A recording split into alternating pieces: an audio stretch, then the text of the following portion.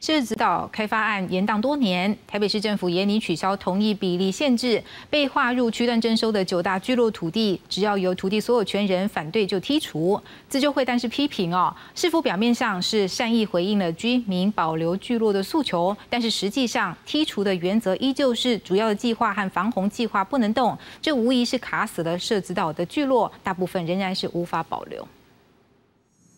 社子岛开发案延宕多年，北市府严拟朝民国五十八年前就存在的合法聚落保存为基调，也就是俗称九大聚落范围被划入区段征收的土地，只要土地所有权人反对就剔除，不过当地居民不买单。我是很压抑的，没有被纳入，是我看到图面我才知道，我觉得我被骗。这个框框的定义怎么来的？我完全不知道。他那个框框里面根本没有，没有把那个零零散散的都剔除掉了，根本没有没有框进去啊。住户表示无法理解九大聚落范围认定标准，自救会也批评市府表面上是善意回应了社子岛居民要聚落保存的诉求，只要提出申请就剔除，但实际上并没有。剔除原则依旧是主要计划防洪计划不能动，这样的条件无疑卡死社子岛的聚落，大部分的聚落仍无法保留。那我们要一一来。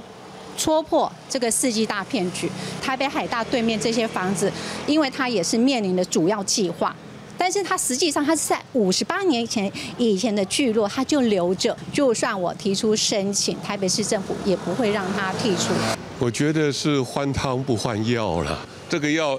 一视同仁了。聚落外、聚落内的土地跟房子。他们的土地所有权、他们的财产权，依照我们宪法的规定，都必须要